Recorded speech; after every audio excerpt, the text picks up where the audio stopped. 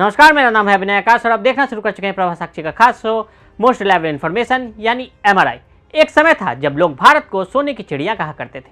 पूरी दुनिया में ये बात कही जाती थी कि भारत में जितना सोना, हीरे, मोती और अनमोल रत्न है, उतना पूरी दुनिया में कहीं नहीं।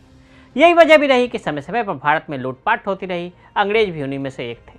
भारत पर सौ साल के शासन के दौरान उन्होंने यहाँ से बहुत कुछ लूट कर अपनी तिजोरी में भरा। लेकिन अब समय आ चुका है जब भारत सरकार चुन चुनकर अपने कीमती आर्टिफैक्ट्स को लाने की योजना बना रही है।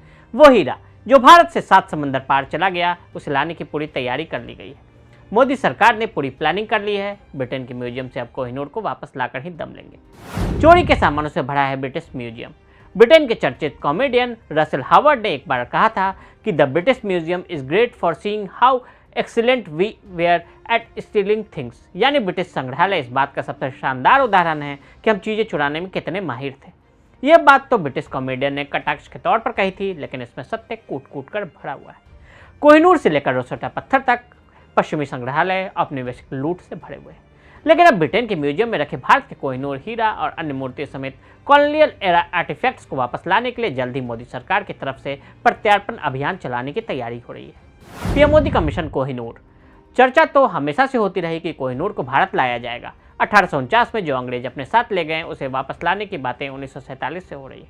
भारत जब आज़ाद हुआ था तो देश के पहले प्रधानमंत्री पंडित जवाहरलाल नेहरू ने एक पहल तो ज़रूर की थी। उन्नीस सौ छप्पन में पंडित नेहरू ने इस बारे में ब्रिटेन से बात की थी, लेकिन कोशिश रंग नहीं लाई। इसके बाद आम जनता में कोहिनूर वापसी को लेकर बात ज़रूर होती थी, लेकिन सरकारों की ओर से कोई पुख्ता प्लान इस पर कभी बना ही नहीं, और न ही इतनी गंभीरता से इस पर विचार किया गया। किसी पीएम ने ऐसी पहल नहीं की जिसे कोहिनूर वापस आता। लेकिन ये मोदी सरकार है और इसने फैसला ले लिया है कि अमृतकाल में कोहिनूर को वापस लाकर ही रहेंगे। कोहिनूर के घर वापसी का प्लान रेडी। खबर है कि इसका लिए पूरा प्लान भी तैयार हो गया है और उसकी बाद चर्चा ब्रिटेन की मीडिया में भी शुरू हो गई है। ब्रिटेन के द डेली टेलीग्राफ ने एक बड़ा दावा किया है। अखबार के मुताबिक मोदी सरकार एक बड़ी योजना बना रही है। इसके तहत ब्रिटेन के म्यूज़ियम में रखे कोहिनूर को वापस लाया जाएगा। इतना ही नहीं, अंग्रेज़ों के शासन के दौरान जो कलाकृतियाँ ब्रिटेन चली गई, उन्हें भी वापस लाने की तैयारी है। अखबार का दावा है कि ये मुद्दा मोदी सरकार की प्राथमिकता है। जानकारी के मुताबिक कोहिनूर और भारत से गए दूसरे खजाने को लेकर ये मुद्दा दोनों देशों के बीच कूटनीतिक और व्यापार वार्ता में उठ सकता है। यह भी कहा जा रहा है कि भारतीय पुरातत्व सर्वेक्षण यानी एएसआई देश के बाहर लूट कर गई या स्मगलिंग की गई कलाकृतियों को हासिल करने में जुट गया है। लंदन में राजनयिकों के साथ समन्वय। हाल ही में महाराजा चार्ल्स तृतीय का राजतिलक हुआ और इसके बाद से ही इस पर फिर से नई बहस छिड़ गई। नई दिल्ली में अधिकारी लंदन में राजनयिकों के साथ समन्वय कर रहे हैं ताकि औपनिवेशिक शासन के दौरान युद्ध के लूट के रूप में जब्त की गई या लोगों द्वारा इकट्ठा की गई कलाकृतियों को रखने वाले संस्थानों से इन्हें वापस लेने का अनुरोध किया जा सके।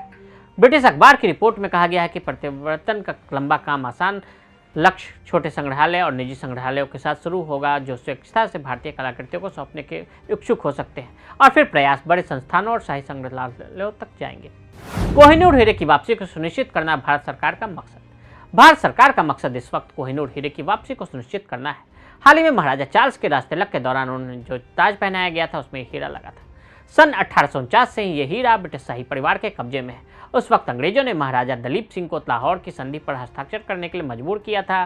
जिस वक्त यह संधि साइन हुई, महाराजा दलीप सिंह की उम्र 10 साल की थी। तब महारानी विक्टोरिया ने कोहिनूर को ब्रोच के रूप में पहना था। ब्रिटेन के इतिहास के हवाले से ब्रिटिश मीडिया का कहना है कि कोहिनूर भारत से ब्रिटेन को मिला एक तोहफा था या फिर इसे ईस्ट इंडिया कंपनी को सौंप दिया गया था। अब तक दो सौ इक्यावन कलाकृतियों को वापस लाया गया। एएसआई के वरिष्ठ अधिकारी के अनुसार देश के बाहर से कलाकृतियों को वापस लाने के लिए ठोस प्रयास किए जा रहे हैं। एएसआई के प्रवक्ता वसंत स्वर्णकार का कहना है कि आज़ादी के बाद से दो सौ इक्यावन कलाकृतियों को भारत वापस लाया गया है।